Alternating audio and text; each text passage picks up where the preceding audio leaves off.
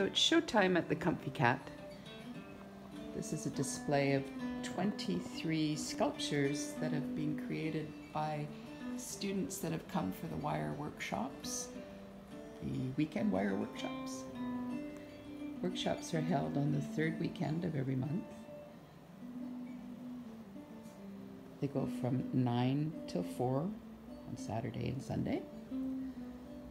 Students come from all kinds of backgrounds. There's uh, definitely no no experience needed. It's helpful, but it's not needed. The students choose their own subject matter, and as you can see, there is a wonderful variety of subjects that people are creating.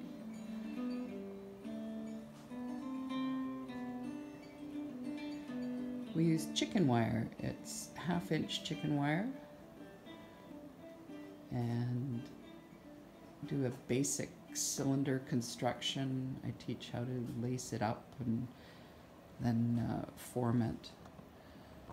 But it's pretty unlimited what you can do.